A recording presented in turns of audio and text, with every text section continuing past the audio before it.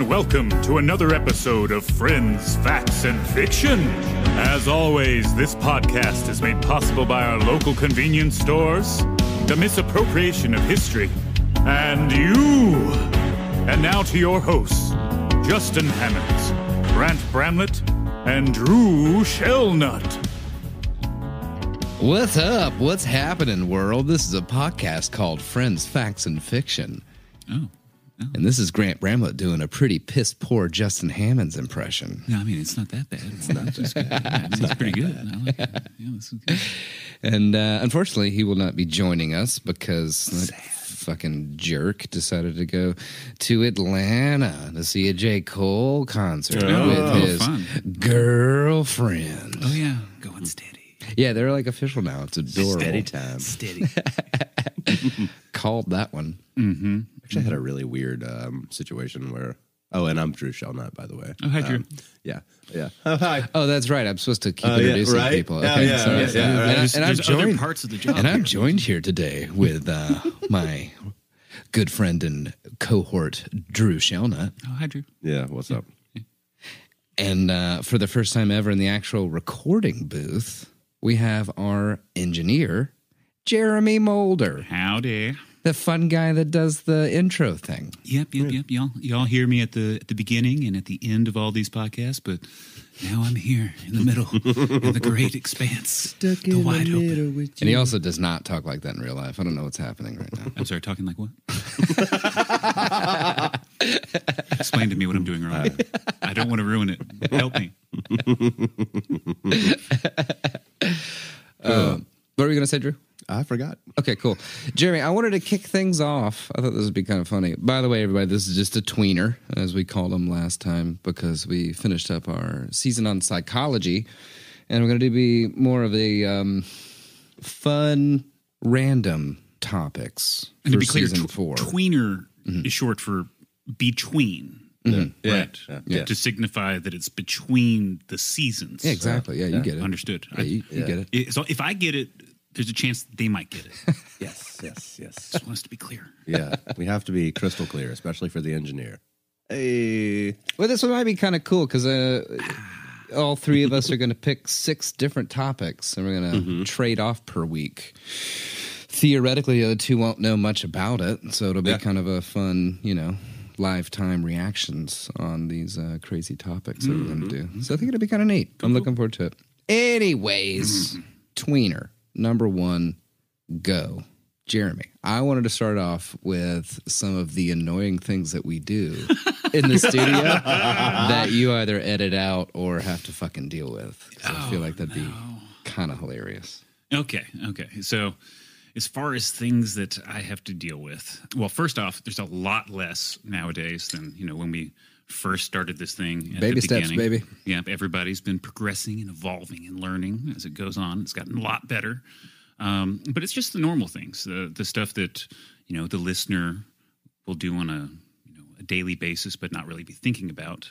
Um, y'all are in a performative space, so these are things that all the small things that are kind of get looked over in a normal setting are f- far more exaggerated when you're sitting behind the mic. You know, so whether it be kind of you know tapping the table, you know, putting the the glasses down, that kind of thing. Oh man, you just annoyed you know, yourself so or much. oh, I'm, leaving, I'm obviously leaving all this in because it's examples of it, or it's you know just kind of the the changing of where you are relative to the microphone as you're talking because you know you kind of get behind it because you're readjusting yourself or something along those lines, um, or um, uh, um, um, you know, just kind of the filler spaces that we naturally put into our conversation. Fillers. So yeah, ums, things like that.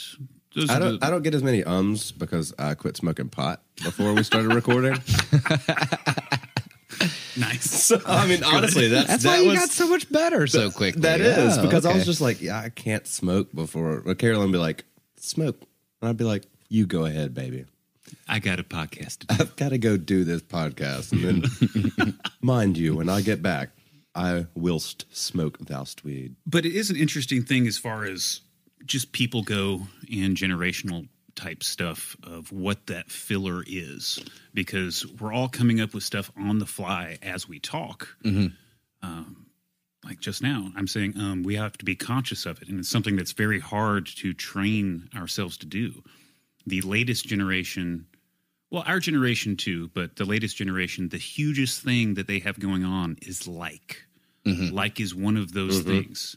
You know, when you're talking about it, it's just like, and then it's like, and it's like, it's just Dude, very I difficult for people to get over and hate through. it so much when people overuse it.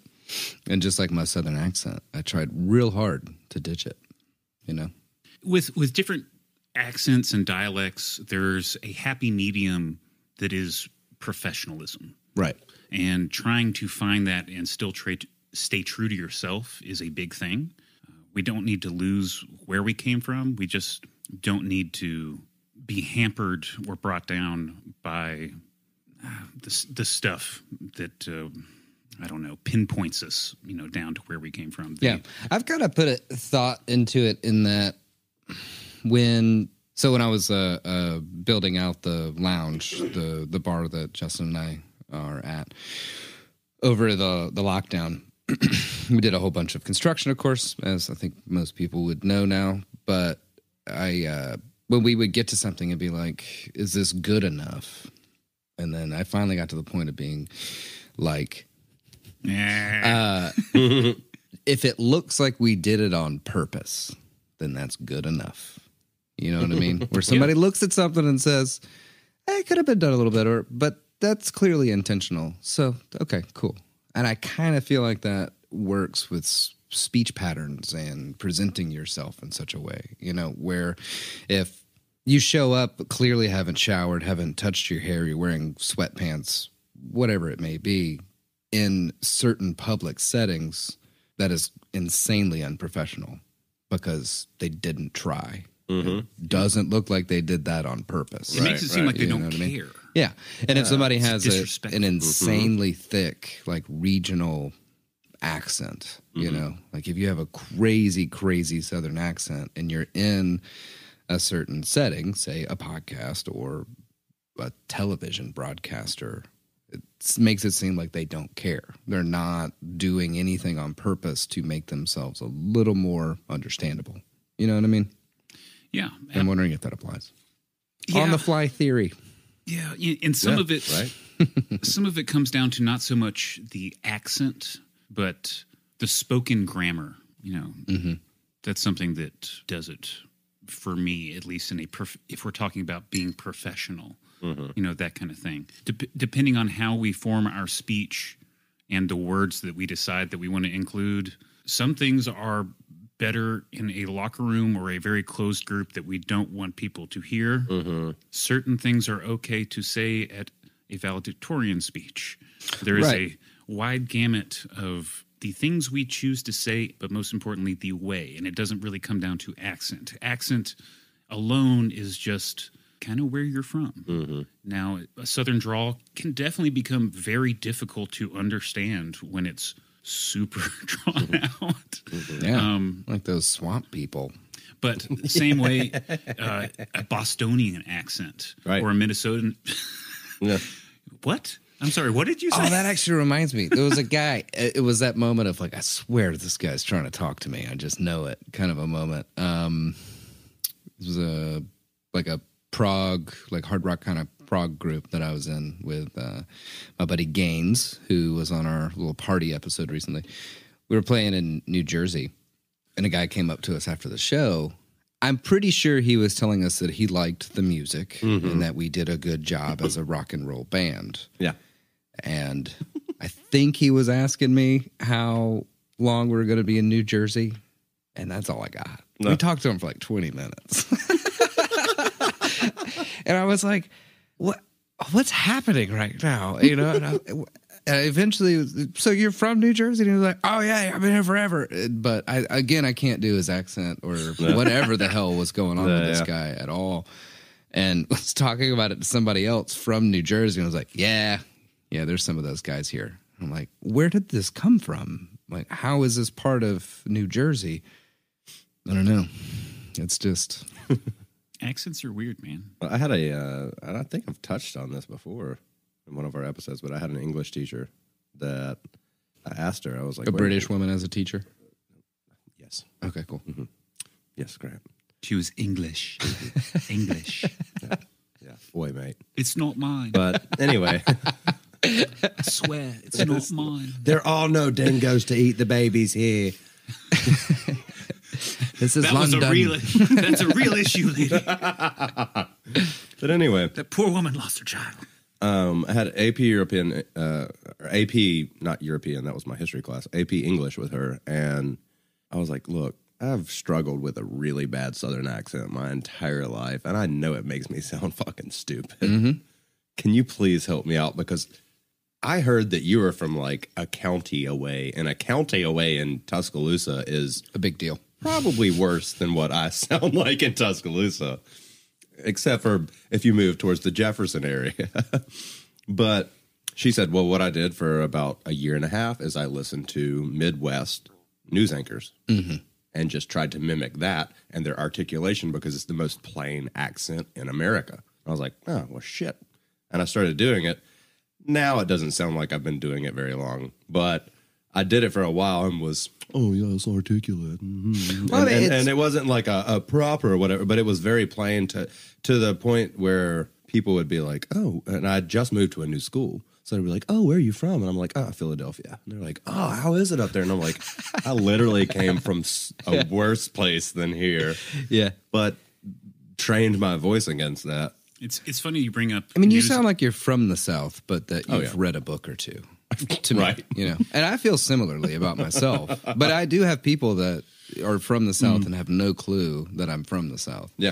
and Yeah. then I talk to someone from the North, and they just can't place me at all. Mm-hmm. You know, so Yeah, it, it's uh, it's interesting that you brought up news anchors and that kind of thing. Mm-hmm. It's because they they all do kind of sound very similar.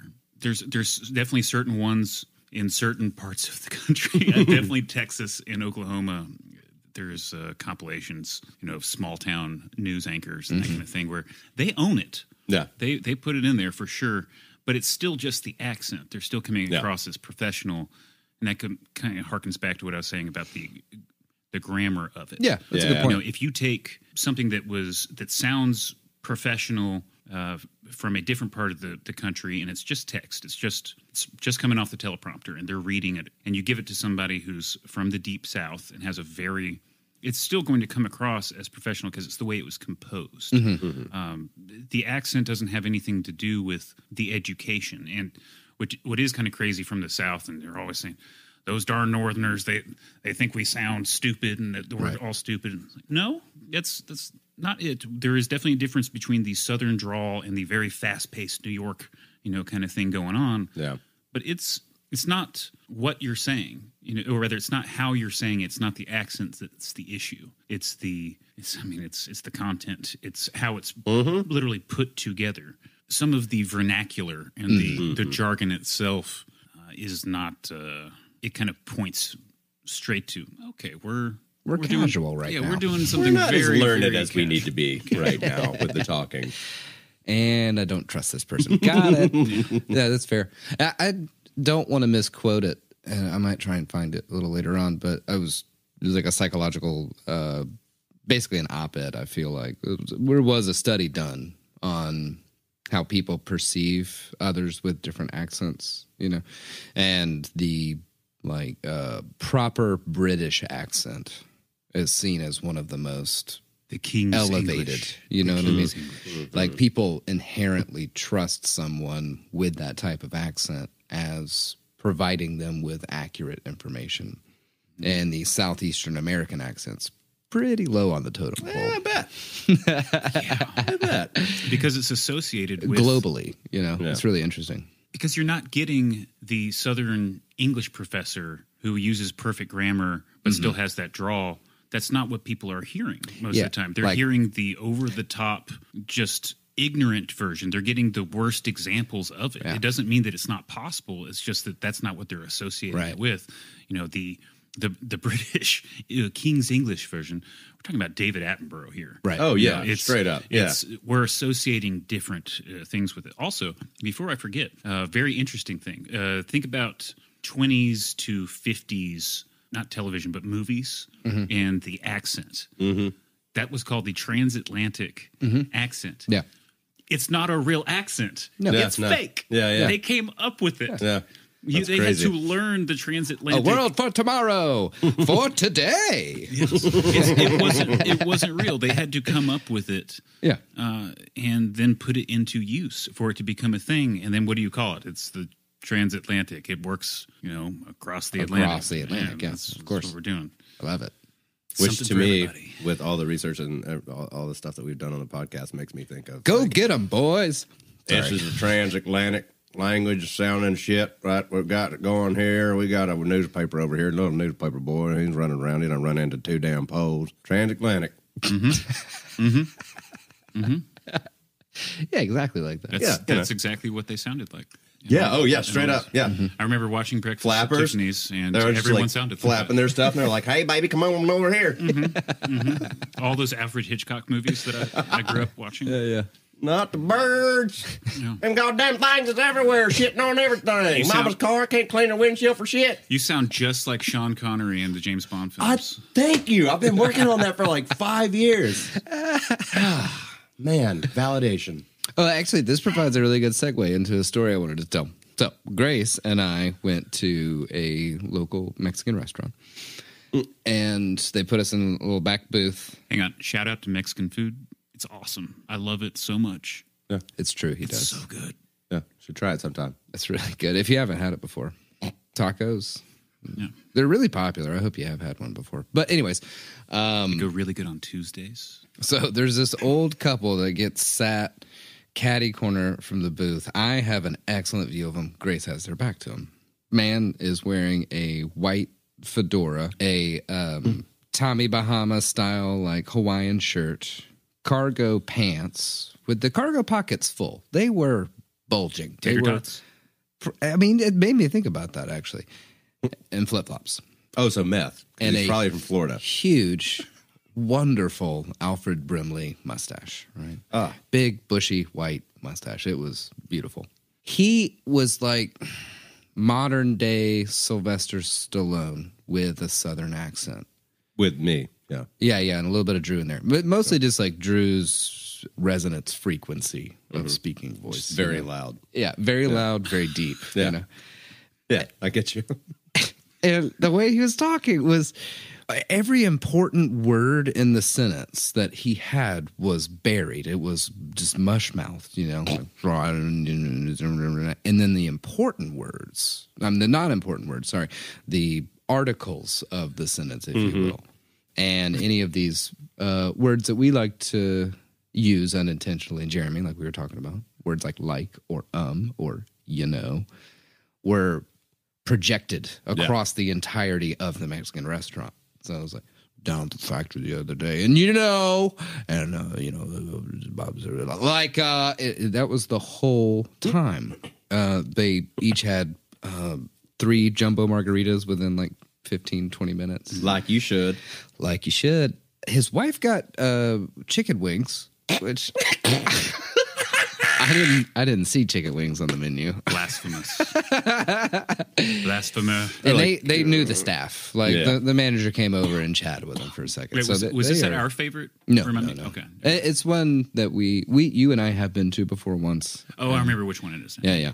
Um, and it's it's fine. It's it's a fine place. There's nothing uh, spectacular about Right it. Right beside three volcanoes. Yeah, but Yeah, it yeah, wouldn't yeah. be the one I would go to every week. you Right, know? right, right. No, we found that place. And oh yeah, I love Through that place. great trials and tribulations, we have gone through all of the Mexican restaurants in this area of Nashville, and we have found the one. By the way, I've brought up uh, Five Agaves to some people. That's before, the name of the restaurant. By the way. And if they know about Five Agaves, they're like, "Oh yeah, I fucking love that And I place." have and I have a contrasting story to all of that. I've, I found one person too this weekend. I was uh, I was shouting out because that's what I do. You know, I, I have to talk about Five Agave. I You want them yell to, about I need them quality to Mexican stay in business. You Yeah. know, I, I, I know that they are have no issues of it, but there's that deep fear inside that we'll suddenly lose this place. I Don't go I- at nighttime. Oh. Seriously, Carolyn and I went, stood there for twenty fucking minutes. They Oh, so walked. by, way- uh, they walked by us. No, there were four tables available at seven p.m. Four tables available. People sitting in. I mean, they were busy. They had three servers, but it was a. They would walk by and go, which for the listeners is a smile and nod, um, and just walk by us, and we are just like. We are kind of fucking hungry and see four tables, and I've been raving about this place to Carolyn for like two months now, and she's So just it's a like, lunch spot. and and and she was just and she and she seriously goes, "We're not coming back here." And I oh. was like, "What?" And she goes, "No, they fucked up." She goes, "Once you fuck up in my book, it's oh, done." And I was like, "You sound oh. like me, number one." Noted for the future, actually. Thank you for that bit of information. Yeah, don't go at night. They have. Oh no, I uh, meant more so don't fuck oh. up around Carolyn. Got it. Got it. Watch yourself.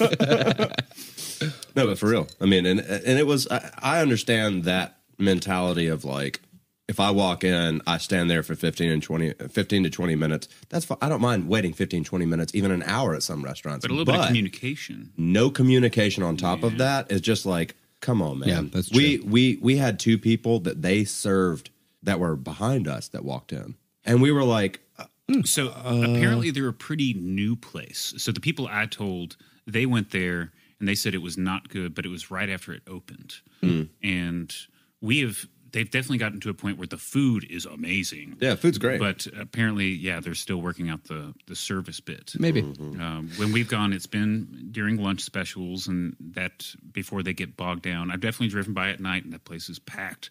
So, oh yeah, down the they- street. it seems like a family that started a business, and maybe, Working out some kinks still. yeah, maybe they're just working out the experience. Well, and kinks. last and last year helped no one. Yeah. So, anyways, back to Bahama, um, Hama boy.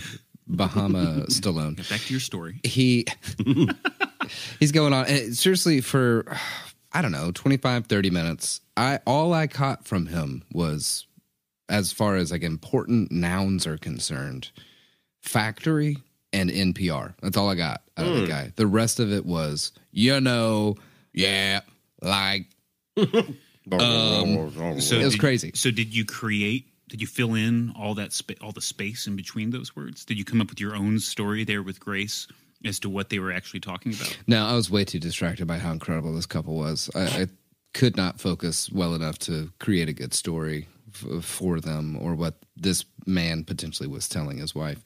Either way, third margarita comes around. He, I think he takes one sip out of it and then immediately just slams that motherfucker onto the table by accident.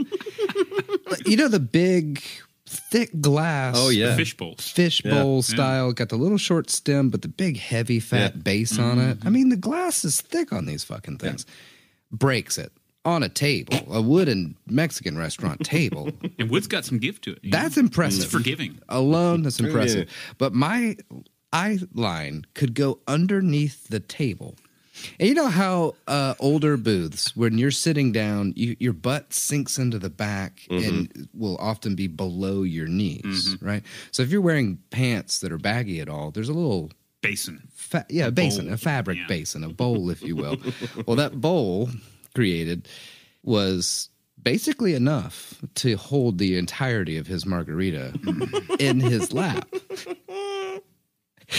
So slams down on the thing. The entirety of the margarita pours straight into his lap and then just stays there. And he goes, Well, that's not supposed to happen. and his wife starts cackling at him. And then he proceeds to sit there for like two minutes You've got to absorb the alcohol. a long time he sits there. He took a bite of his food. And then he eventually gets up to yell across the restaurant to someone to fetch him some towels to clean up the mess that he has made. And again, just I, I- could not have framed this better if I had tried to, you know, make this a filmed comedy bit. Between his spread legs with his back facing me, I saw an ice cube that had stuck to the pant his pants and the thing just fall between his legs after he stands up. He stood up for a second, and it's just like, so can I get some towels over here? We had a little accident. Her, her, her. Oh, and another margarita. I'm definitely going to need another margarita. Her, her. Plink goes the ice cube onto the ground in Right between his legs. It was so great. So he wanders over to the bar. It's a big funny thing. Mm-hmm. A couple of servers come scurrying over to try and clean it up. His wife, no pause at all, just still having a nice meal Mm-hmm. with her chicken I mean, after 40 years, she's learned. He's like, I'm going to eat my food. It's going to get cold. come over, clean it up. Bartender hands him another margarita. At this point, he's standing in the aisle of the booths and hands it takes his keys out of his pocket and dangles them in front of his wife's face, like arms straight across the table. It says, You're gonna need to drive her, her, her. And he's dangling the keys in front of her face. She's still eating her chicken wings. And he's got the margarita hooked real That's close right, to his forgot she had chest this time wings. Oh around God. and is dangling the keys, margarita hooked. Takes a little sip, and he's still dangling the keys. And I'm like, she's clearly not done. Sit back down, man. You know, gets some to go boxes, and then she starts singing this song about how tequila makes your clothes come off. Classic. Because he says he's going to need to take his pants off when he gets home because they're covered in margarita. Now she's getting excited. she's going tequila makes your clothes come off and he so he starts dancing in the middle of the aisle arm straight with the keys dangling in front of her face margarita firmly hooked into his chest just dancing wide like knock kneed wide stance Was he jingling the keys jingling in, in. Yes? time okay, to perfect, it Perfect. just swaying bobbing back and, forth. And so you're sure that wasn't me and Carolyn. in 30 years i'm positive it is yeah and so but the whole oh. time i'm having to pretend like there's funny shit going on on my phone hmm. because he keeps looking at me. Like eyes dart over constantly at me. And i don't know if he's challenging me. I don't know if it's like yeah laugh right now mm-hmm. in the i don't maybe he wanted me a part of the joke of it all. Or maybe he would have gotten angry. Yeah. but they finally left, and I laughed for 15 minutes straight. and it's like that a lot. I wanted to share. Yeah. Thank you for sharing. It's great. Drew, you talked about having some articles pulled up for our little, yeah, I've little got three. boy. I only think I'm going to hit two. But um, this is from theguardian.com, and it is an article by, we'll tell you later. the title is River Otter attacks baffle, attacks baffle authorities in Anchorage, Alaska. I like otters. Otters are cool. Apparently. So- Residents of Anchorage, Alaska, used to live alongside moose and bear, now face a threat from a more diminutive creature, the humble river otter. On Friday, the Alaska Department of Fish and Game alerted residents to pack an aggressive uh, to, that a pack of aggressive otters, which have attacked dogs, children, and adults near the creeks, rivers, and lakes.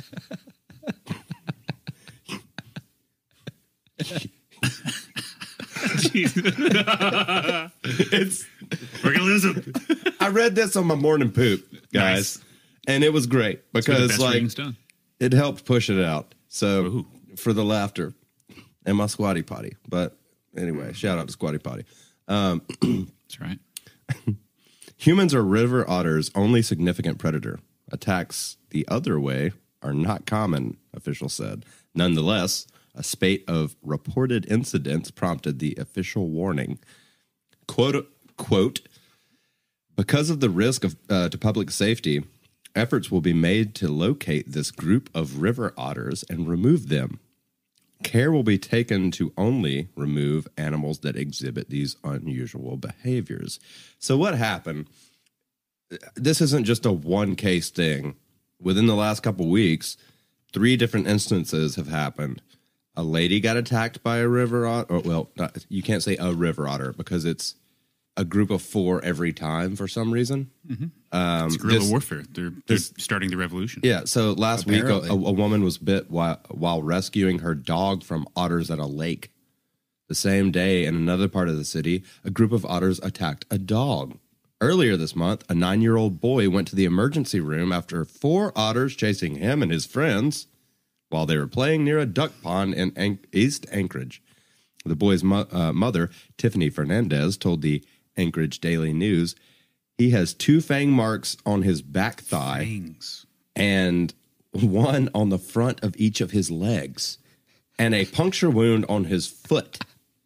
These motherfuckers are out there for some money. That is crazy. So they're attacking children, small dogs, or any dogs, and women.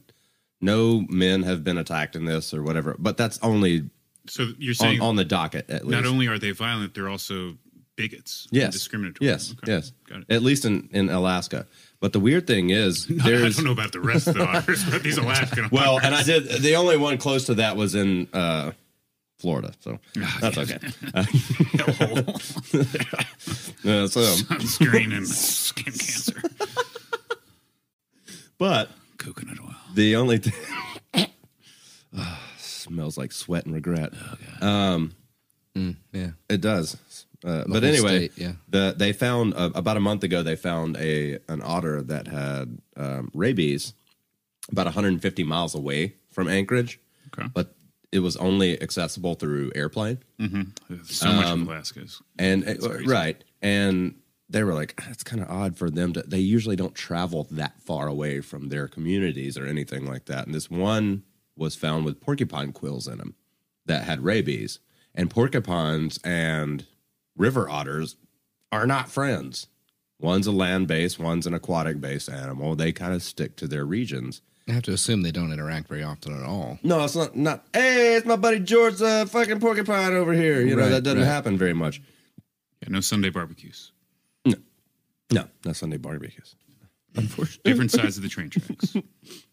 But so that's that's the weird thing that is kind of popping up is they're like, if this is rabies, where the fuck did it come from? Like, how did it get into these otters, and why are they traveling in packs, just attacking humans right now and small dogs?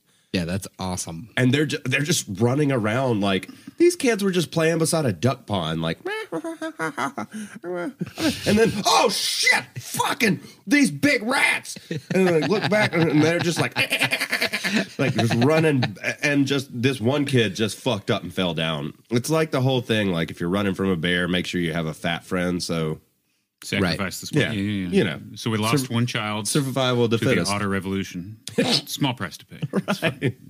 But literally, uh, the uh, the doctors did examinations. He had bites on both of the backs of his thighs, the fronts of his thighs, and one of his feet, and scratches all down his back, and one bite on the back of his right I mean, shoulder they went blade. after this kid. They just fucking jumped his ass. That's Like he stole their fucking lunch money. They Yeah. jumped his fucking ass. Like it was crazy. And then the other attacks were just a woman was trying to save her dog from being attacked by four otters. It's always four. What the fuck is It's- up with the number? They're It's just the like, unit. mhm. It's the unit. Now let's let's remember. It's a revolution. This is organized. It's a revolution, bitches. They've been edu- they've been educated. They've been trained, and they know that the best way to execute their guer- guerrilla warfare is in units of four. And at least its smallest. So they've they could now just to be clear that it does break down into two otters per fire team. But when they sense. first initiate, it's a unit of four. Yeah. And it's usually like it's, it. it's usually um so it would be two couples, so husband and wife. Twice, obviously. Um Maybe that's a double date. Maybe yeah, that's that- their that's, idea of a that's their time. idea of a double date. Yeah, maybe Let's go fuck these uh fuck these humans up real quick. I can't build anything or swim around all this fucking plastic. Well, I mean, so they probably are. You know, they've been working all week. They've been doing their thing. They're overworked. Like, they just don't have. I mean, 2020 probably rough for the otters too. Yeah, right? yeah, you know. So they're just getting back out. They've got. Cracking muscles on I their mean, they've got bellies. student Yeah. loan, you know, payments uh, coming Yeah, up. The yeah. mortgage forbearance is over. Like it's it's coming back, and they've just finally gotten through this hellish work week over hundred hours. Rolling and on they the shore finally bank, have yeah. one day that they've reserved for their couple time. Place, you know, playing. it, And they uh, said, you know what? Let's get together with our friends we ne- that we never see because they're working too. Yeah. Right. So Yeah, now it's yeah. that double date. Yeah. And then these fucking kids and these fucking dogs get in there and they start ruining their one damn opportunity a week. Yeah. And then the fangs come out. That's, uh, that's Okay, it. it's That's it warranted. I think Yeah. this is fair. Yeah, I- So okay, so maybe it's. I'm still leaving it open for the revolution idea, but if it's not that, it's definitely the double date thing. then they just snap sure. finally. Yeah, makes Yeah. sense. Uh, Jeremy, how do you feel about us starting our lawn care company? That's called Otter Creek Lawn Care. I think it's great. I mean, they're the they're river dogs and obviously very vicious. I mean, like there's there's just a lot there. You know, Yeah. it's uh it's not just like hey, it's a cow. I mean, Yeah. cows are great. You know, I love cows, but it's just it's just kind of one thing. Yeah. you know, there's not. Well, yeah, because we were thinking about having Brendan, you know, do a little uh, recurring cartoon or comic strip with an otter in it, you know, that Yeah. like steals our lawnmower, sort of Marmaduke esque, Yeah. you know. Yeah. But I think I like the idea better of four otters. Attacking Completely- grass, just running into somebody's yard and then coming back and it's like lines. just completely destroying an old lady. Mm-hmm. You know what I mean? Mm-hmm. Mm-hmm. No, like killing and murdering her. That's what I mean. Yeah, yeah, And like then we, ooh, ooh, we chase them down with our lawnmowers. Oh, okay, this got brutal really quick. Yeah. Oh, compost. Yeah. Have you, Yeah. y- y'all are familiar with the uh, the old internet series Happy Tree Friends? Yes. yeah. So it all starts nice and cute and everything. It's bubbly and animated, and then suddenly everyone starts dying these gory, horrific deaths. Yeah. yeah. So we'll just make our comic strip like that. you know, just I love it. What else you got for us, Drew? So the next one is from HuffPost.com, and this is by David Moy, and it's called Bronx Zoo Visitors Go Bananas Watching Gorillas Engaging in Oral Sex. oh wow, That's awesome. Also, great wordplay. Yeah. You get it? Because monkeys like bananas. Hey. And wieners are like bananas, Yeah. except for this one's the opposite. Right. Yeah. So this lady takes her um, class of students to the New York City's Bronx Zoo. I think I really like this story. and they're walking around and they're like, "Oh, look, old lady gorilla's laying down. It's about to ha- it's about to be a good time. She's just rolling around. Fun stuff's happening." Male gorilla walks up and just straight up face in the vajayjay starts mm. eating her out mm-hmm. Oh my god. in front of all these kids and everything, and she's shaking. oh, so she's Laying there enjoying. like, oh yeah, she's enjoying it. and the kids who have cell phones are like, and she's like, turn away, turn away. And they're like, what? What? This is supposed to be normal. And she walks up to one of the the the zoo folk. That's a good husband right there. I'm, I'm happy. for, I'm oh yeah, proud of for him. sure, for proud sure, of him. for sure. You got to please have a JJ. Yeah, man. But uh, you got to preheat the oven. yeah, you. D- hey, Happy wife. You know? So it's a callback. call back to It's a Shelley. callback. Yeah, Yeah, yeah, yeah. But um, The listeners know. the teacher walks up to one of the zoo workers and is like, uh, "Is this normal?"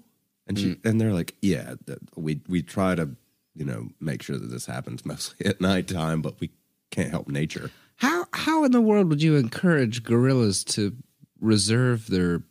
By placing them in different areas, Why? Well, I guess that's fair, but I just like- can't.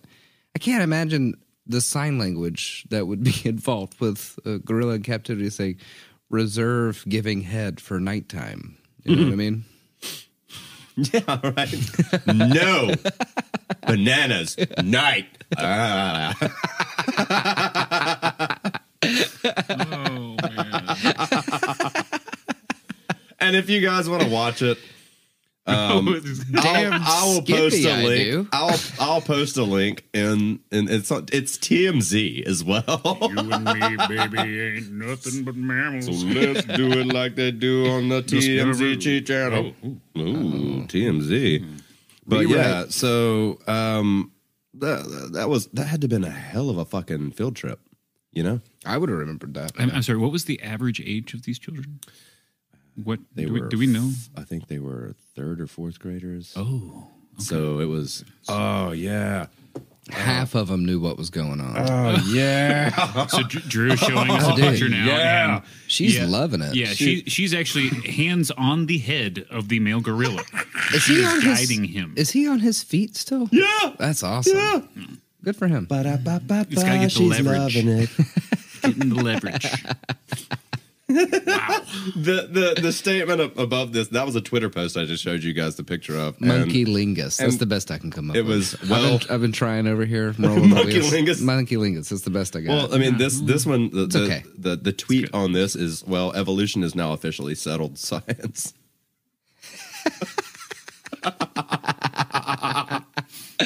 I mean, we, we knew that they had sexual Oh, yeah. activities just for Pleasure, yeah. pleasure. Yeah. Yeah. What is it? Dolphins are the The dolphins, uh, Pigs are, bonobos. pigs are real. I'm pigs, sorry, bonobos. So another monkey ape like. Mm-hmm. Yeah. the pigs have a 30 minute orgasm. That's true. Pigs Which is- like it. Actually, I don't think I'd like that too much. I mean, I've I've tripped enough to where, Yeah. I mean, if somebody's like, I just need it to end, please. and uh, This yeah. is great, but I need it to come to an end. And then the next one is rare Pokemon Oreos are selling for thousands of dollars on eBay. So new Pokemon Oreos are giving fans something to get excited about and providing collectors with a new avenue to potentially rake in thousands of dollars. Dumb. Yep.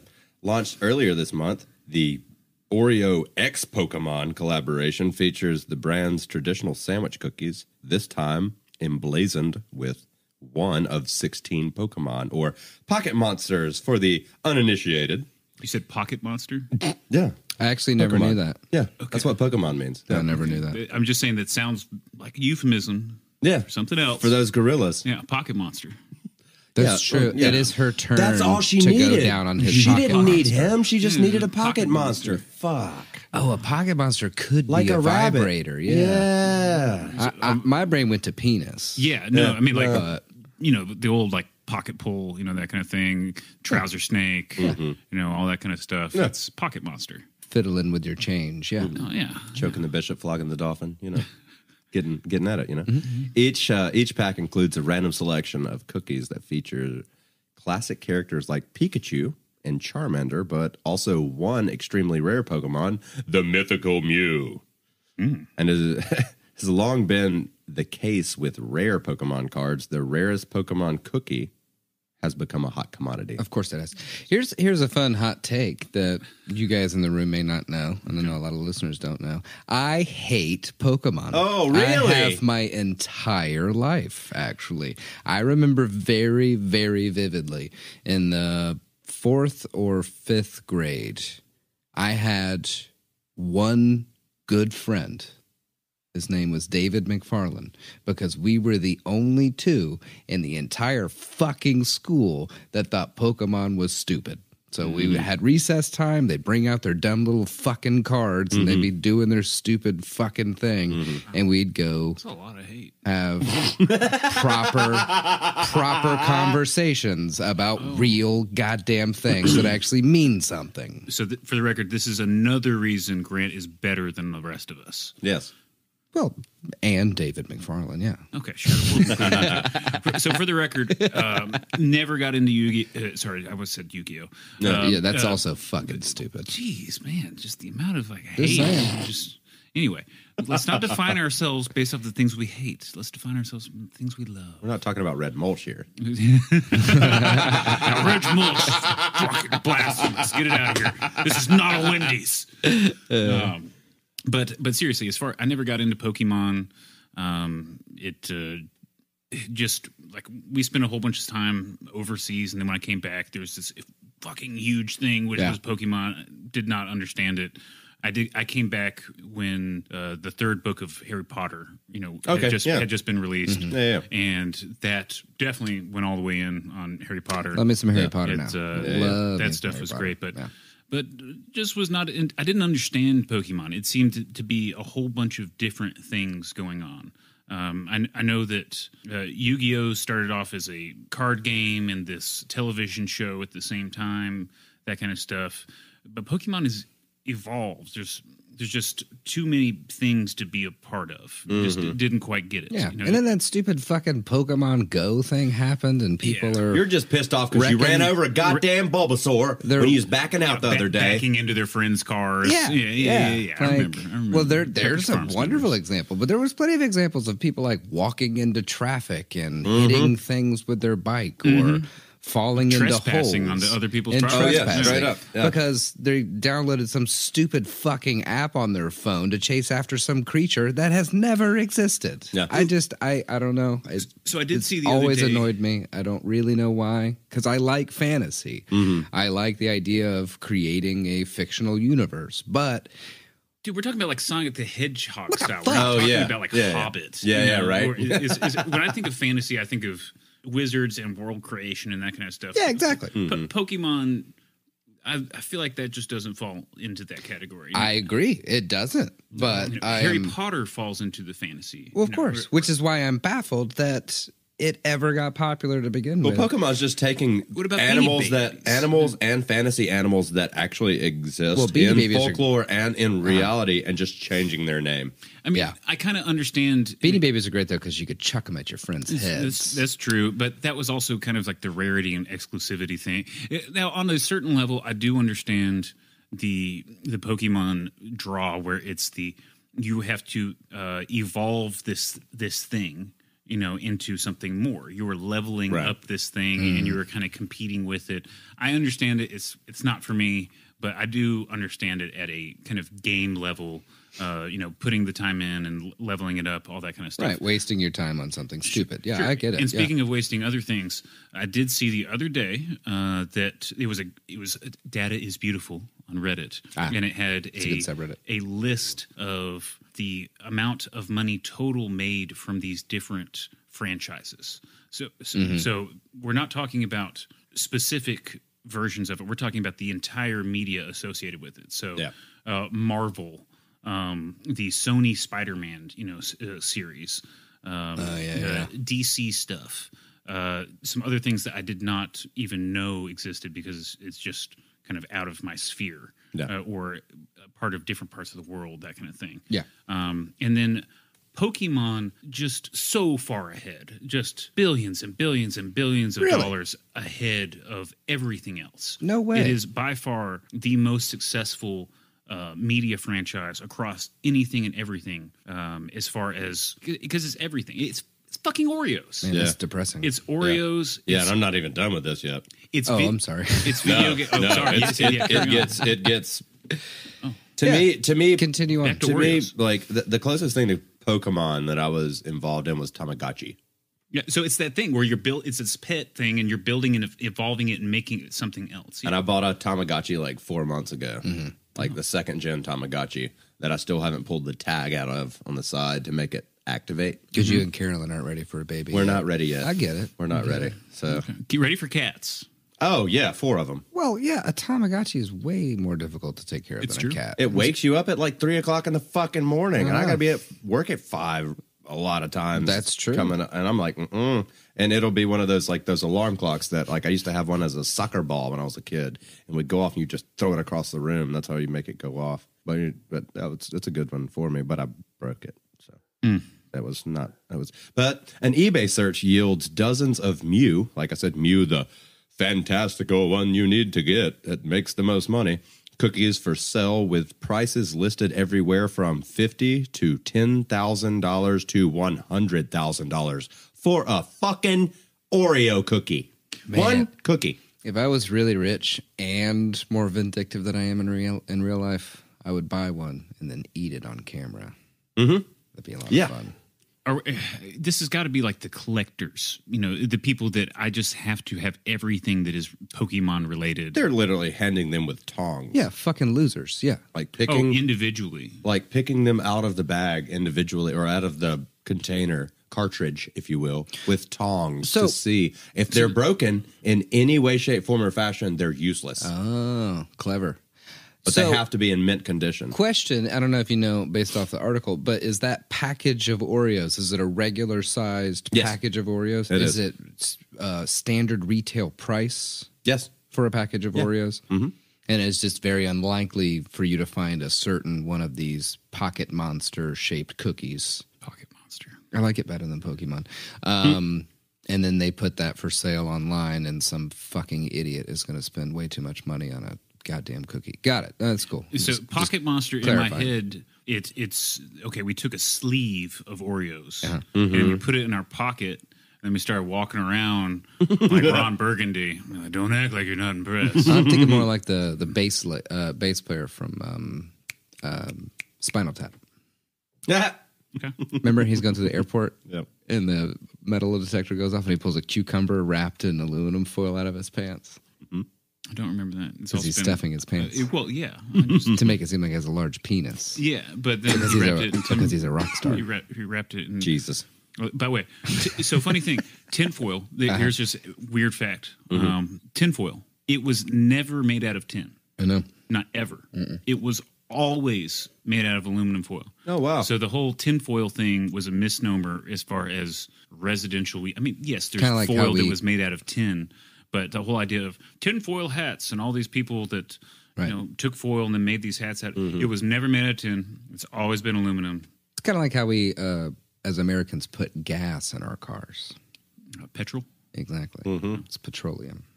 Well, technically, we are putting gasoline Yeah, I guess so, but still. versus diesel or kerosene Okay, okay, okay. or fine. bunker fuel, B10, B20, or any of the other types of fuels and petroleum products out there. But yes, if you go to the UK, they are not going to call it gasoline. They're going to call it petrol. It was uh, when I went over there was uh, Gas and that was uh, during the Bush administration. Which one? Um, I think it was the I know. the no, dumb one. second. Yeah. Second Bush. Mm-hmm. Well, of course, the second Bush because I was a baby during the mm-hmm. first one, so I wasn't W. playing death metal in the in Europe as a baby with a bass. You know, mm. that'd been fucking fantastic. Fuck, dude, I want to see that. Right, me Yeah. too. Now, It's a different type of baby metal. baby, the other other whack But that could be our song for the uh, song of the day of the week. Baby metal. Baby metal. baby metal. You look it up. We're not going to play it. You just look it no, up. Baby just look it up. Just l- search for the highest pitch screaming from babies and the lowest resonance of bass and guitar that you can get. So have fun with that one. Um, so these these uh, some of these people have taken on to just selling packs of cookies because they don't know what's inside of them, and people are doing the stupid thing of buying them. Um, a few of them have actually sold for twelve hundred dollars for a pack of Oreos just to see what's inside. Just go to the grocery store. Oh. oh, Billy. Wait, People so, are so dumb. so, so are these are these specially marked on the package? No. Oh, so it's just normal Oreos. I mean, I'm sure that they say like It's- it's- Pokemon extravaganza or something Yeah. like that on them, but it's just like, well, I'm just gonna go buy like 15 packs of these and put them on eBay and just sell them for 1,200 a pack, Jesus. just for the advance of that. Are you And- saying that there's an Oreo shortage in general right now? Um, no. Is this like McDonald's Szechuan sauce? Because that'd be pretty cool. Okay, man. People are fighting in Which grocery it actually- store. it actually in the is cookie Sweet aisle. fucking Szechuan sauce. You know, a lot of people talk shit about that, but I've actually tasted um, a replica Szechuan sauce of the McDonald's Mm-hmm. Szechuan sauce, and I got Szechuan chicken like last Thursday. Not bad. McDonald's shit was way better. I'm The not saying it wasn't good. The sauce I'm was way saying, better, but Don't the get in a fight over a goddamn No. condiment. No, no, no. Don't buy a package of cookies No, for twelve hundred dollars. No, please. This is this is just fanaticism. You know, we've we've always got something. I know. You know, is- People care We're too much about stuff. we're broken. Yeah, I know. But the strike, however, ended in a union vote last week, according to the Huffington Post. So if you're so inclined, they've uh, they've stopped making them. Okay, Okay, well now that makes more sense for them to be ex- as expensive as they are. because it's a rarity. It's a Right. commodity. Yeah, and there were people like um, It's there were people like threatening Nabisco employers or employees and stuff. Holy shit! No shit, like for the fucking cookies because they see them. Oh, it's so good. So yeah, All right. Everything's a disappointment. Yeah, I am unhappy. me too. That's a good note to leave it on. I think so. I didn't think that we would get to this one because I thought that the other two would be more of an engage. But I, I I thought I had to throw the Pokemon Oreos in there because that's that's just asinine. Everybody's so stupid. especially R. Kelly. Fuck him. Oh, that's true. Uh, he got he got He likes Oreos. he got Oh, yeah. arre- he got course he convicted on his. Uh, they basically had to do a racketeering um, charge against him. or Al whatever. Capone. Yeah, Shit, And, it, and it stuck. Motherfucker's going to Of jail. course it stuck. Long time. good. He peed on way too many girls to not be in jail. Which makes things sticky. So yeah, Nice. Does it? I wouldn't know. I don't know. I've never peed I've, on anybody. I've I've peed on my peed on sister. anybody. I mean, I've peed on myself. You know, I peed on my sister think everybody's because of peed on uh, themselves at some peed on my sister because of uh, jellyfish. Oh, okay, yeah, it was, uh, I was I was in that, and I came back. It was like, just Wait, pulled what? me out. of it. Jellyfish. Wait, yeah. what? No, no, I peed on a jelly, uh, peed on my sister because uh, we were in um, what the fuck is that place in Mississippi? Uh, Meridian, Wait, Meridian's. or not Meridian? Land- Um, landlocked. B word, B word. Biloxi? But yeah, there you go. Oh, okay. Um, we were hanging out down there. Two of my uncles were helping set up um, a couple of the casinos. Um, they're electricians, and we were just down there hanging out on the beach. You know, like shitty looking water, looks like any lake you've ever been to, but brown. Because Mississippi doesn't have much to offer as far as coastal beauty. But um, What are you talking about? yeah, right. Whole state's gorgeous. I mean, well, it's it's weird to me. it's always Mississippi. It's weird to me because like you have like the middle of Louisiana or like the little peninsula of Louisiana to Alabama state line, and as soon as you cross over into Pensacola, the water starts getting blue, and you're like, wait a minute. All right. Anyway, but jellyfish wrapped around my sister's leg. Yeah. I'm beating it with one of those foam noodles. Oh, great. Going, get off my sister! Release her. Release She comes running up there like, we don't know what to do. And I'd been watching Discovery Channel the week before, and I was like, I know what to do. Drop trowel, start pissing on her. And they're like, what are you doing? And she was like, actually, don't. It feels, Feels better good. now. Yeah, yeah. Feels better. Meat tenderizer Yes. works too, by the way. Yeah.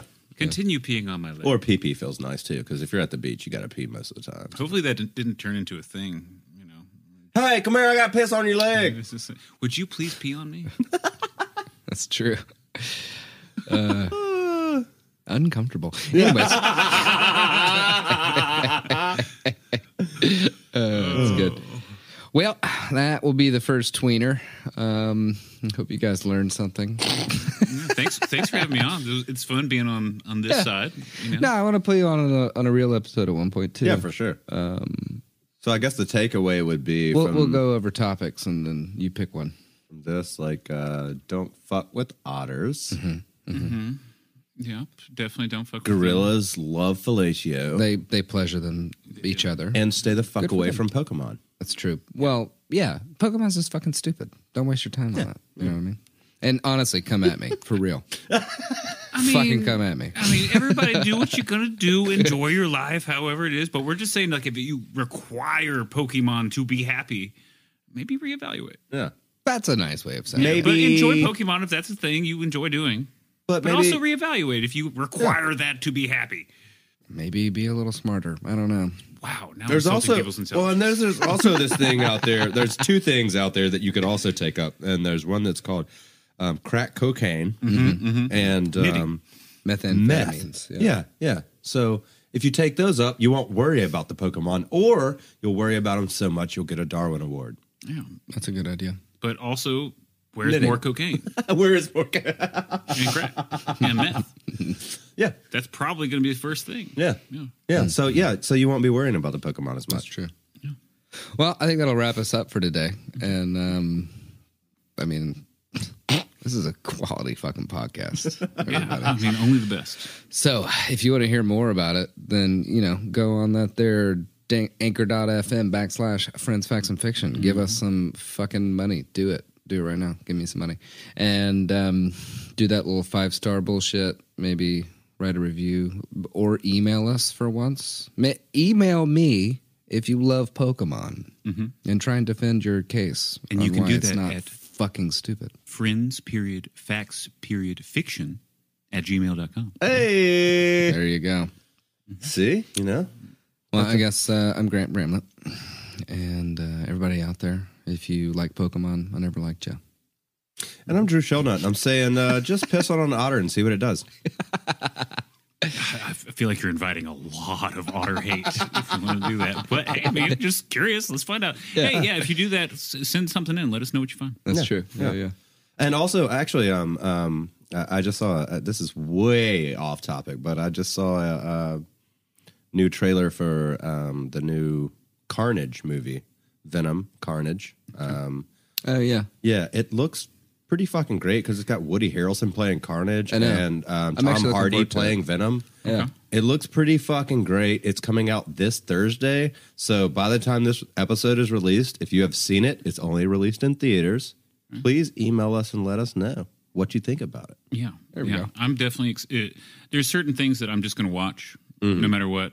Carnage is definitely going to be, you know, one of those things. I need the Marvel movies. Mm-hmm. Uh, I definitely want to see that uh, Ryan Reynolds f- free guy, you know, thing. Yeah, me too. Yeah, I haven't seen it either. Yeah, that looks yeah. good. Uh, but there's, I will never watch trailers because trailers ruin This one, this one was a bunch of not um storylines as much as just action shots. I know, but the, I, I know, No, but I mean, yeah, It- but it, it looked like it looked small like a. Michael Bay, like just action shots all over the place. So I was just like, uh, that kind of looks fucking pretty great, though. It- I know, like it looks great, but it, it's all stuff that you don't think matters, and then you start watching the movie, and then in the back of your mind, you start putting to, piecing together all the things that you saw, and you're like, "Damn it! Now I know what's." so Yep, if you're making trailers out there, do better. Yeah, don't fucking ruin it for the rest of us. Just do fucking better. now, Like show stuff- a name like Venom, Carnage, people fighting. Ooh. That's all you need. That's all you need. In the streets of New York, Yeah, there it. was. I, do- Leave it at that. I like that idea for like uh, one of those types of movies. It's like, you know, this comic book that you probably never read. Well, here's a very expensive movie about it that everyone will watch. And it'll be It's great. Well, Jeremy, I have a little sign off. Sure, sure, sure. Uh, so I'm uh, I'm Jeremy Moulder. There he is. I enjoyed being here, Yeah, you did. and uh, so long, and thanks for all the fish. Nice. I like That's great. Yeah. Well, Little shout out to uh, if you don't know what that is. Uh, Douglas Adams. Uh, sorry for you. Yeah. just just so you can know and you can go out there and better yourself. Uh, Hitchhiker's Guide to the Galaxy. Um, very, very funny. yes, great book by Douglas Adams. It actually, I think, started off as a uh, radio serial. It was a series of short stories that got turned into a radio Oh, okay. Uh, serial. And then that got transcribed and written down and then reworked into a full novel. Mm-hmm. And then Bilbo into- Baggins came in and did the movie. And they made into a Mm-hmm. super old uh, BBC uh, series that's horribly great. I love it. Actually, it's really good. And then Bilbo Baggins uh, Yeah. made one. Mm-hmm. And then there was, I think, was a newer decent. one, right? No, that's No, all no, they've that's the done. one with Bilbo That's- Baggins. Yeah, that's Yeah, right. yeah. That's all they've done. No, that was just The Hobbit Yeah. Oh, It's trilogy. wait, what were we talking about? Hitchhiker's Guide to the th- Third World. Oh Wait, which thing? Which thing you were talking about? All right. Well, this is a podcast called Friends, Facts, and Fiction. And We Thanks for listening and stay tuned for the next installment. Find us on Facebook and Instagram to stay up to date on all things friends, facts, and fiction. Our Instagram handle is friends underscore facts underscore fiction. As always, please reach out to us. You can send any of your questions, praise, and fact checking to friends period facts period fiction at gmail.com. It's important to us to only propagate the truth, and we'll correct any errors we may have made. Your hosts and researchers are Justin Hammonds, Grant Bramlett, and Drew Shelnut. Our episodes are produced by Grant Bramlett. Additional producership provided by Grace Higgs. Our recording engineer is Grant Bramlett. Our editor, mix, and mastering audio engineer is Jeremy Moulder. Lighting design is provided by Justin Hammonds. Our office assistants are Gully and Bull. Our research assistants are Under and Paid. Our current interns are Lost and Questionable. Our personal drivers are Titleist and Tired. And our resident pooches are Pack and Jolene, the Devil Child. This has been a production of Friends, Facts, and Fiction.